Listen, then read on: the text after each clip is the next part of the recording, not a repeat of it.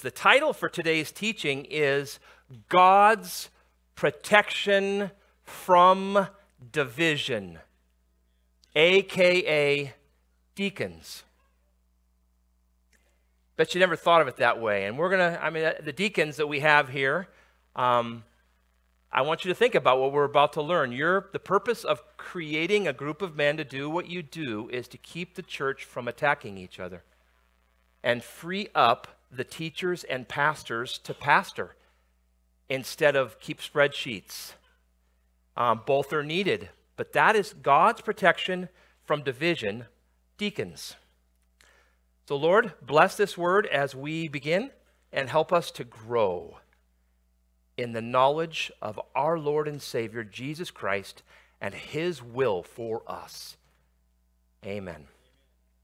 Okay, I'm going to go a little quick review. The church has been growing. These people who were sneaking up to the stage are coming to get notes. If you don't have them, you can grab some notes. All the cross references today, well, 90% of the cross references are on there. Um, the church has been growing. In Acts 1, the church is growing. How many were, let's see, if, let's see if you guys can do it. Without looking at your notes, how many were there in Acts 1? It gives us a number. Do you remember? In the upper room, there were about 120. It says literally in Acts 1, the number of the names of the disciples was about 120. In Acts 2, Pentecost happens. How many? 3,000. Now there's 3,120, right? And in Acts 4, it says those who heard the word believed, and the number of the men came to be about 5,000. And then in Acts 4:32 it says the multitude of those who believed. So this thing is mushrooming. This work of God is mushrooming. Again, also one of the reasons you see everybody selling their stuff and feeding each other, that is not a standard practice inside the church.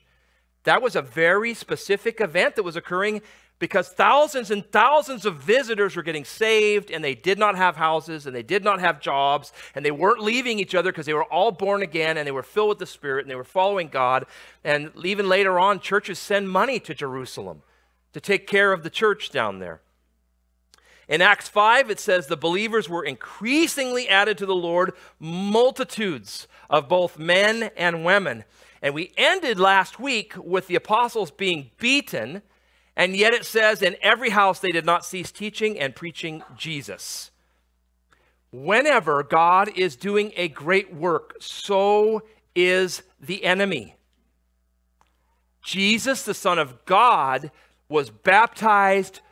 The Spirit of God came on him, and the very next thing that occurred was a satanic temptation and a powerful one.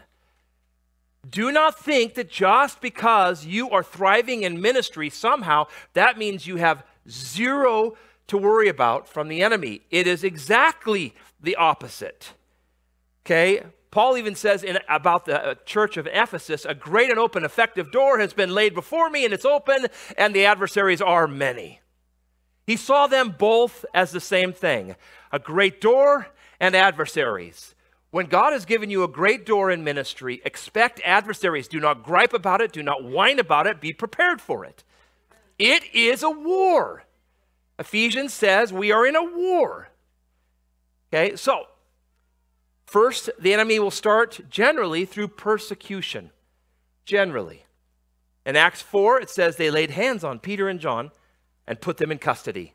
That doesn't sound so bad.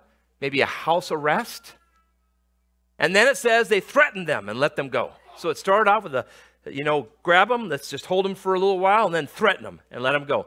And Acts 5, it says the high priest rose up and all those who were with him, filled with indignation, and laid their hands on the apostles. So now there's 12 of them, and put them in the common prison. It's elevated, a little bit bigger. From house arrest, if you will, to, as I said last week, the drunk tank. And they held them. It even says they wanted to kill them. And this time, after they were talked off the ledge by Gamaliel, don't kill them, you might be fighting God, it says they had them beaten and commanded that they should not speak in the name of Jesus. So now they have been, you could see as the multitudes are growing, the persecution is increasing. That's normal. That's normal Christianity. But when that was going on, there was a second attack. It's Acts chapter 5. What was the second attack? corruption from within. persecution from without and corruption from within. You cannot read the New Testament without finding out that there are many people inside the church who are actually against the church and against Jesus Christ. Remember what Jesus told the disciples? In Luke 12, 1, he said, Beware of the leaven of the Pharisees. The word leaven is yeast, and yeast is a corruption. It's always a corruption. That's why we like the bread. We like the little corrupt bread, right? It puffs up, right? Beware of the leaven of the Pharisees. And what is the leaven of the Pharisees according to Luke 12? You know it. What is it? He says, which is hypocrisy. Hypocrisy. It gets in and it grows inside the church, and pretty soon we're all a bunch of religious hypocrites. It happens, it creeps in like leaven.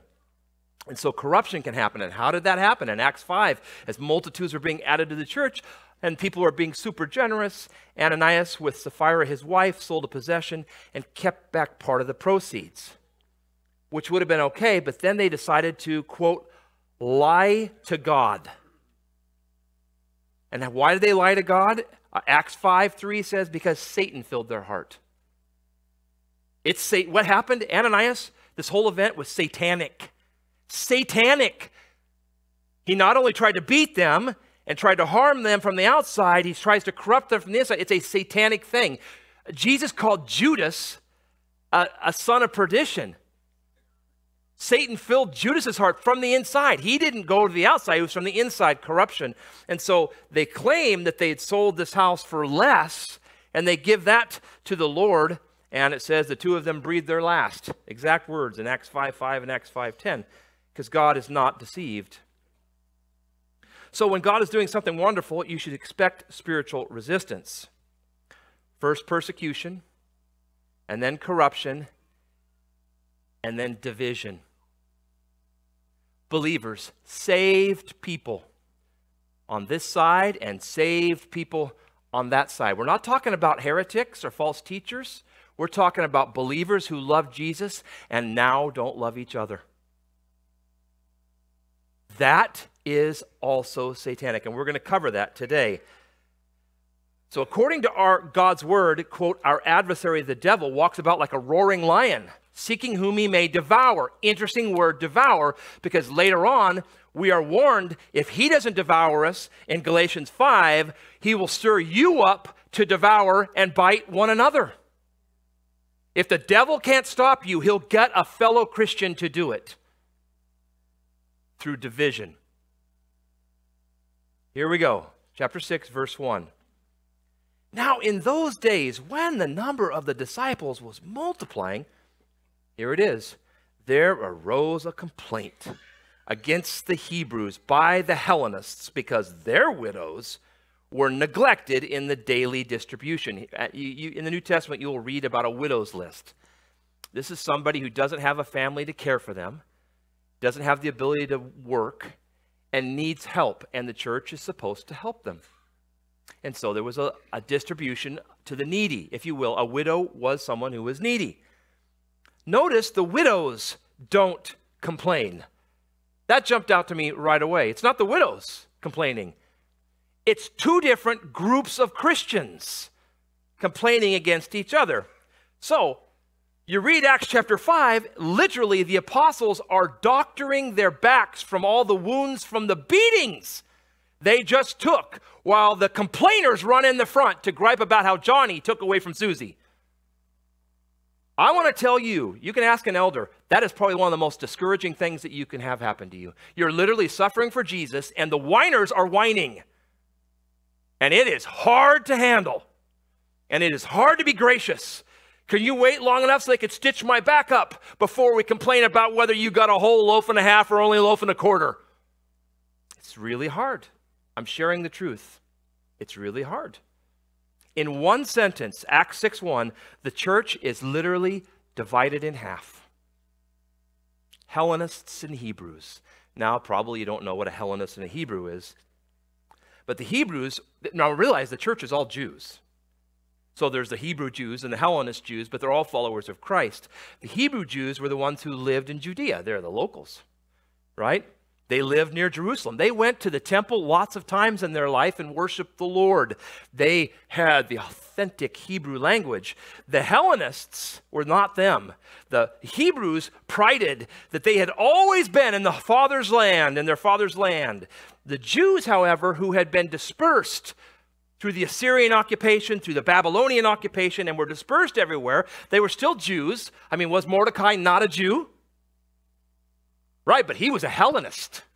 He didn't live in Israel next to the temple, right? He lived in the capital of the pagan empire.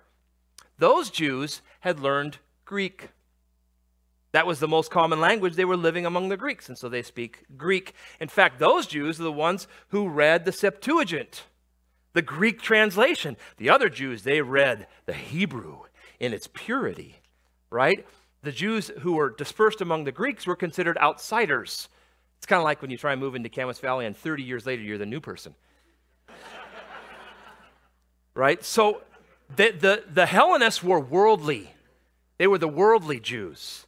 Not necessarily, but their culture was different. It was not pure Hebrew Judaism.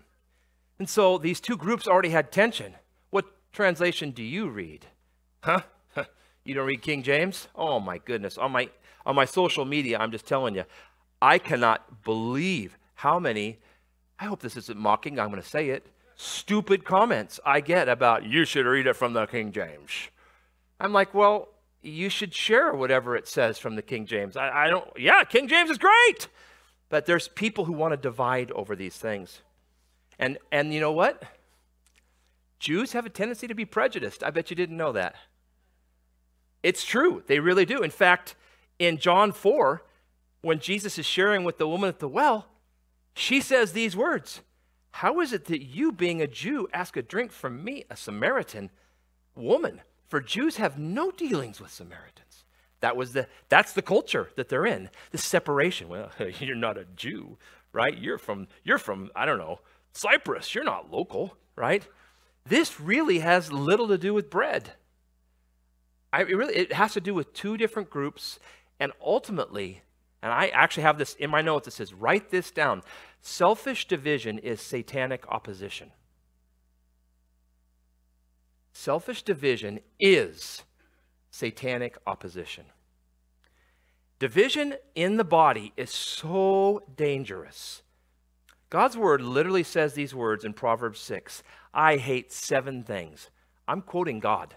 I hate seven things pride, liars, hands that shed innocent blood, hearts that plan wicked things, feet that are quick to do evil, liars again, no joke, it makes it liars makes it twice in that list. Liars again, and the last one, number 7, a person who sows discord among brethren.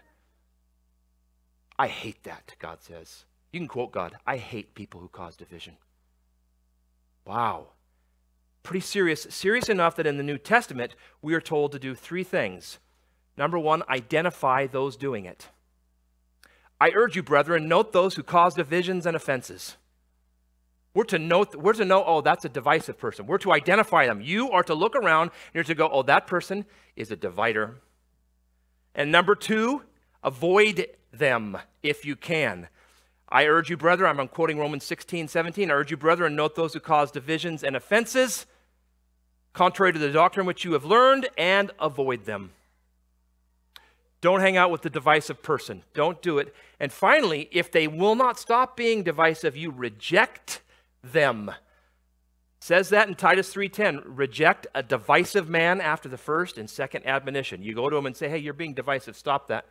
"Hey, you're being divisive. Stop that." Finally, you say, "I got nothing to do with you." You separate from a divisive person because God hates division. It's also behind Ephesians 4 when God commands us to walk in lowliness and gentleness, with long suffering, bearing with one another in love, and then this word, endeavoring to keep the unity of the Spirit in the bond of peace. Endeavoring, the word is working really hard it is not easy to stay united with people who are not you. Every marriage knows this. And you love that spouse. Still not easy to walk united. You have to endeavor to walk united. And in Romans, it says, as much as depends on you, live peaceably with all men. So you make every effort. You work hard. That is your number one. Hold this together. Don't take wrongs. Be long suffering, gentle, humble. Because the devil is the only winner when believers attack each other. But this is not uncommon, it's been around for a while. This happened in the early Corinthian church. Listen to this. So, believers started, they just started, I'm not going to forgive you. In fact, you've wronged me, and I'm going to I'm going to I'm going to get what's due. The what about me is not a quote from the Bible. What about me? Well, I don't know. You're not in the Bible. What about others? That's a quote from the Bible. What about me? Jesus literally said, if they slap you on your face, turn your face away and let them slap the other one. Now, we don't want to do that, even as believers. And so in the Corinthian church, they began taking each other to court. And Paul has a lot to say about it. Listen to his words. So here's believers who are just trying to get what's fair and just. Listen to these words in 1 Corinthians 6. Brother goes to law against brother? And that before unbelievers? My Bible has an exclamation point. He's worked up. Now, therefore, it is already an utter failure for you. When brother takes brother to court before non believing magistrates, you have already failed. That's what Paul says. It's already an utter failure for you that you go to law against one another. And then he says, here's what you do. Why do you not eh, rather accept wrong? Why do you not rather let yourselves be cheated? He said it would be better to be cheated by a brother than to take a brother to court. Wow, that oh, I'm sure everyone's like, "Oh, that's yeah, that's what I'm going to do." We're in a sue happy culture right now. Paul did have a fix though. Here's his fix. You ready? Why don't you call for a wise man among the believers who will be able to judge between his brethren? Why don't you resolve this with a third party who's also a believer and just but you have to, it's hard. I've been involved in some of these. It's really hard because the believers have to be truly followers of Christ because whatever the third party decides, that's it. And most people are, would rather go to court and maybe win. It's already an utter failure. How are they going to handle this division? They're going to select seven wise men to do exactly what Paul said to deal with this and hear your complaints and make just causes. It's exactly what Moses and the 70 elders did. It's biblical. So, in verse 2, then the 12 who were wounded summoned the multitude of the disciples, calls everybody, all of you, Hellenists, Hebrews, and said, It is not desirable that we should leave the word of God and serve tables. Wow, that's insulting, right? No, it isn't. Do you get saved by them serving tables? The Bible hadn't been written. The only ones who knew what Jesus said were those he taught. Everybody wanted to know what Jesus said and how to live. Sorry, I can't. I got to bake bread. Now, baking bread is good and useful and right, but there are divisions in the body. That's a wrong word. There are different ministries in the body. These men had literally been told by Jesus, Make disciples of all the nations, teaching them to observe all things that I've commanded you. Should they stop now and create a bread spreadsheet? Is that what they're that, that should be doing? Sorry, I cannot teach a Bible study. I got to keep track of the bread records. Is that the right thing to do? The apostles recognize what is happening. They realize that this could be a distraction from what God has called them to do and a division. Paul says in 1 Corinthians 11, you're always going to have divisions. Right now, there are people probably in division, if not with me, with each other. Listen to this 1 Corinthians 11, 18. I hear that there are divisions among you, and in part I believe it. For there must also be factions among you, that those who are approved may be recognized among you. The divisions are there to prove who really is following Jesus Christ and who is not. That's what he said. So, you can't let division become a distraction. When you are doing a great work for God and division happens around you, you can't let division become a distraction where you waste your time engaging with every single complaint because complainers never go away. But you can't let division become destruction either. Can't be distraction, it can't be destruction. So what do you do?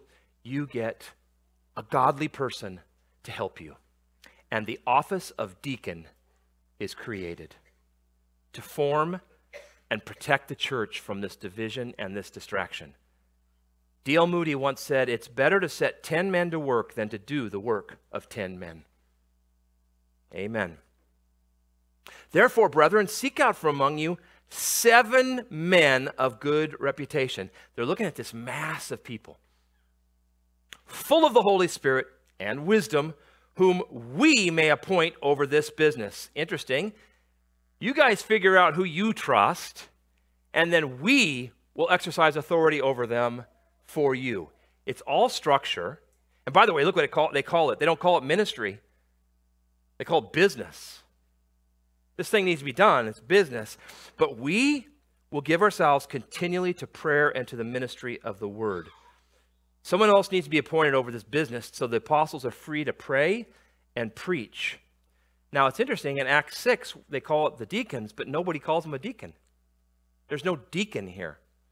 The word, however, that's translated serve tables in verse 2 is literally diakonein or diakonos or deacon. The word it means to serve, servers. But this new role was so essential to the church that they became known as church leadership. Paul, in his letters, literally said to all the saints in Philippians 1 1, to all the saints in Christ Jesus who are in Philippi, with the bishops, that's an elder, and the deacons. They were so essential for the protection of the ministry of God in the church that the deacons are leadership.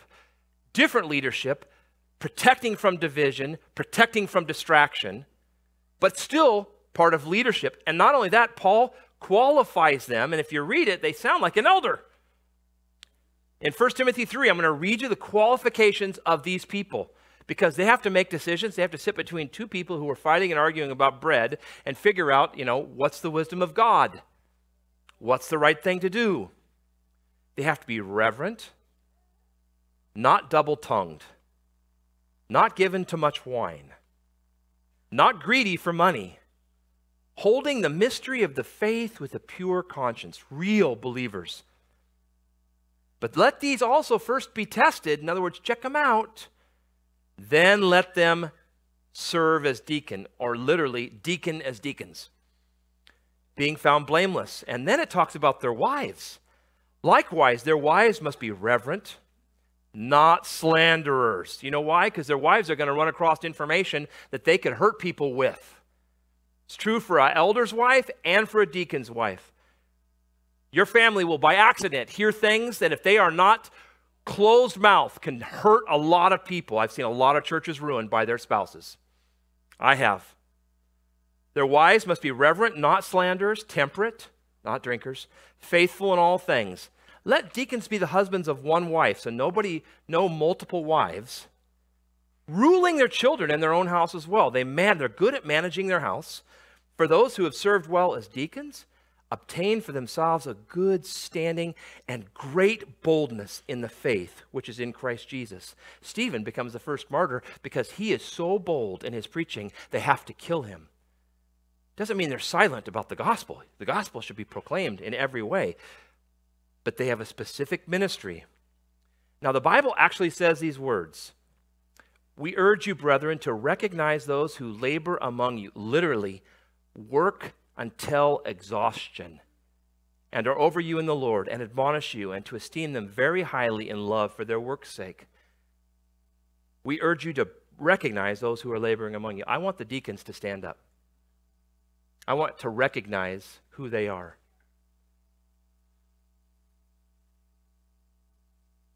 And there they are. We have four deacons Don, Jay, that guy, Aaron, and Tim, and their families. And they take care of things for the elders. to keep division from happening.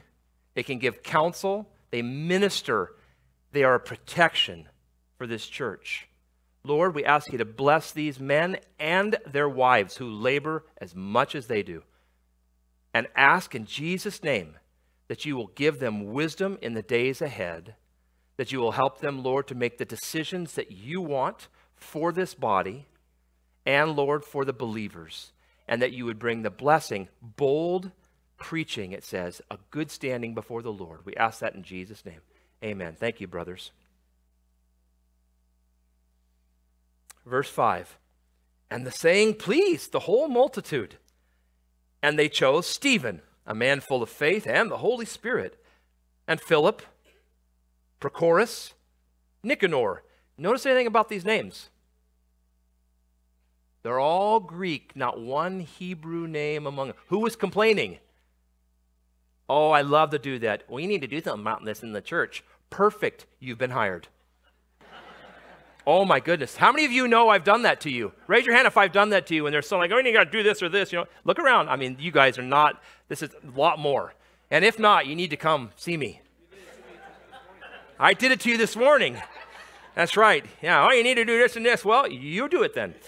Here it is a bunch of Greeks Nicanor, Timon, Parmenas, and Nicholas, a proselyte, not even a Jew He's not even a Jew. He's a proselyte. He's a Gentile who became a Jew. He's not even born of the seed of Abraham. Oh, he'll be perfect. Let them Greeks gripe now. From Antioch. One of the roles I wrote down of leadership in the body, we don't always like it, but we need it, is the ability to make a decision. Oh, yeah. If you're the person who can't make a decision, please do not lead. Please do not lead. A decision had to be made, right? God's word says in Judges 5 2, when leaders lead in Israel, when the people willingly offer themselves, bless the Lord. Two things that are needed a leader to lead and followers to follow. Bless the Lord, right? So, you, one of the things that a leader needs to be able to do is make a decision right? Romans 12 literally says these words in this list in Romans 12 of all the various giftings in the body. And these aren't the like miraculous giftings, these are sort of administrative giftings. Well, some of them are miraculous, but there's a list on how to use them. Here's the list. If you've been given the gift of prophecy, prophesy. In other words, if that's your gift, don't keep it. If it's uh, in proportion to your faith. Or ministry, which by the word is deaconing. If you've been given the ministry of deaconing, let us use it in our deaconing. In other words, do what you were called to do. He who teaches, what do you think he's supposed to do? Teach, right? He who exhorts, what do you think he's supposed to do? Exhort. And he who leads, literally, it says, he who leads with diligence, or literally, en spude, he who leads, get up there now. That's literally haste. The word there is haste. Get up there. He who shows mercy with cheerfulness. And so, leaders, lead, right? Make decisions. You're all complaining. You're all a bunch of Greeks, right? Well, we'll just, you know what? The 12 of us decided you guys, will, it'll be all Greek deacons. There you go. Make a decision. But they laid hands on them, it says. They laid hands on them in verse 6, whom they set before the apostles, and when they had prayed, they laid hands on them. Have you haven't I remember when I first got saved, I thought, why? What's with the laying on of hands? Magical. I mean, it's like a movie or something. Oh, it's a force. I don't know. Why do we lay hands on them? There's laying on of hands all the way through the Bible. Here is what it is, in the simplest terms. It's literally making a connection between the giver and the receiver. When you're laying hands on an animal for sacrifice, you're making a connection. My sins, this animal, and the animal dies. When you're laying hands on a believer, literally, actually, Hebrews 6 says that there's a list of these things that are elementary principles of our faith. One of them is laying on of hands. Laying on of hands. Jesus laid hands on children.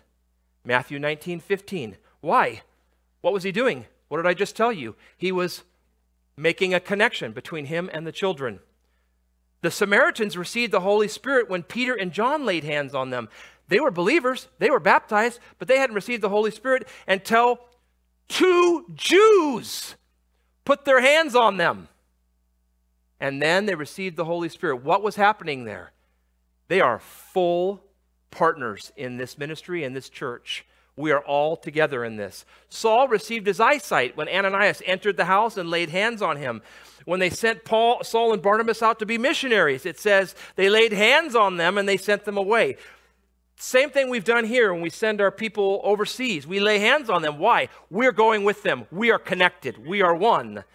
Timothy received a spiritual gift with the laying on of hands of the eldership. And so, why are the elders laying on hands on the deacons?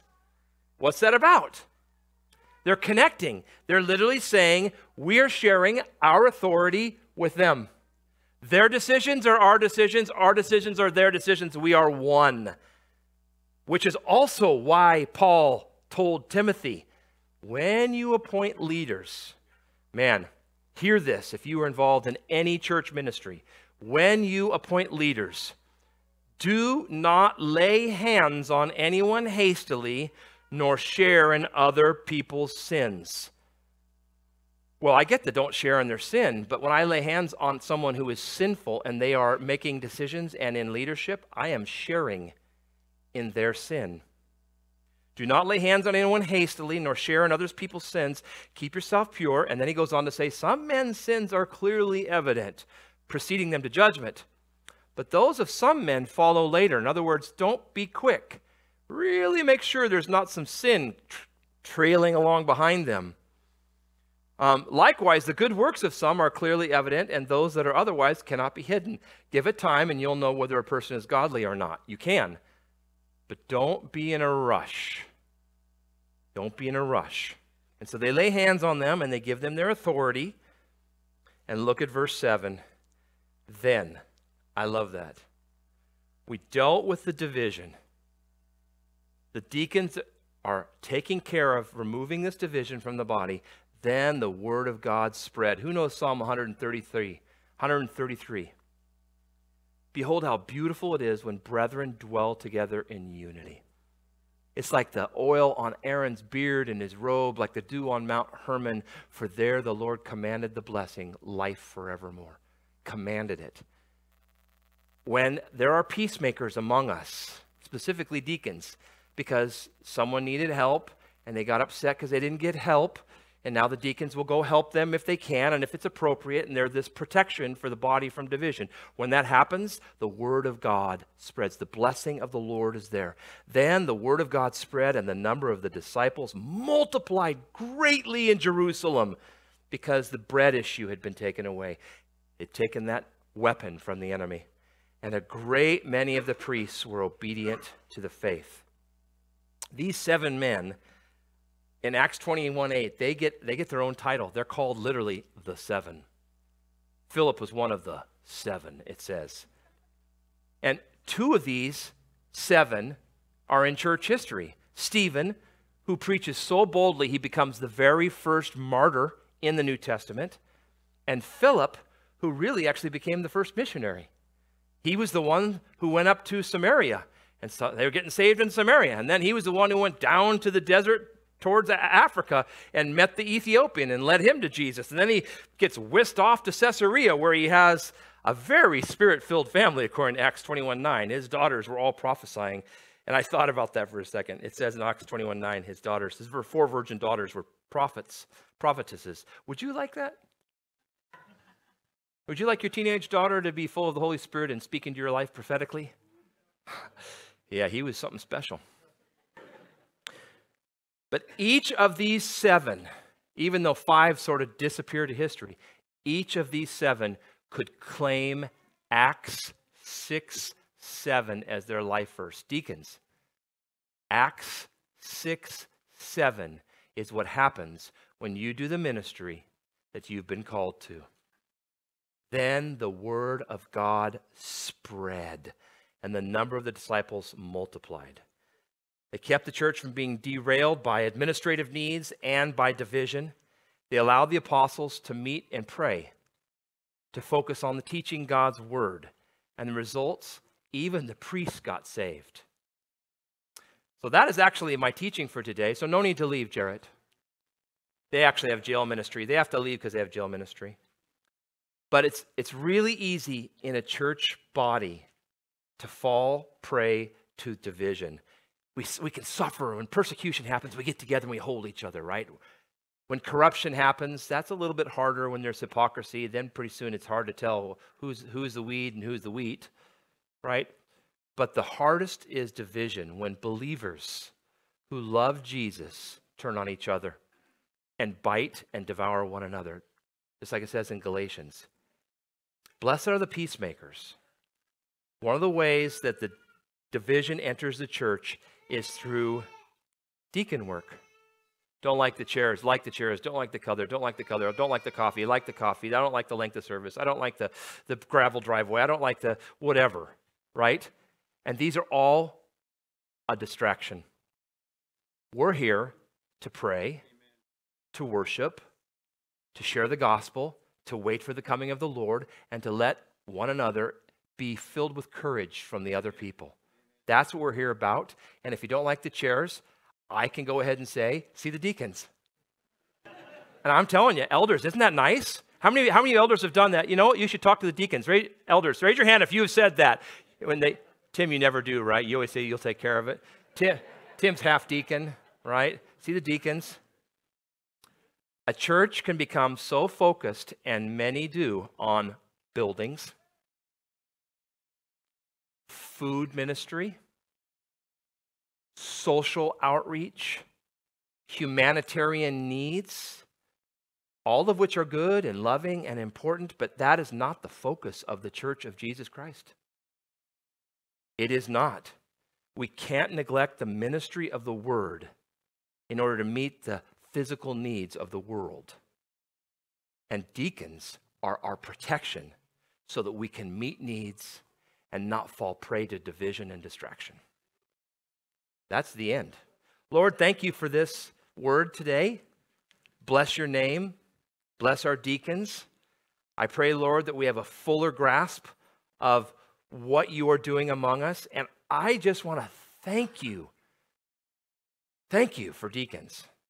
And I want to thank you, Lord, that you again and again bring the elders back to ministry of the word and prayer. Ministry of the word and prayer. I even feel it today, Lord, in my own heart. I got to make sure I'm focused on ministry of the word and prayer. Help us to do that, be as faithful as the deacons are. Lord, we love you, we bless you, and we thank you that you have laid out the plans for a healthy church. We praise you in Jesus' name. Amen.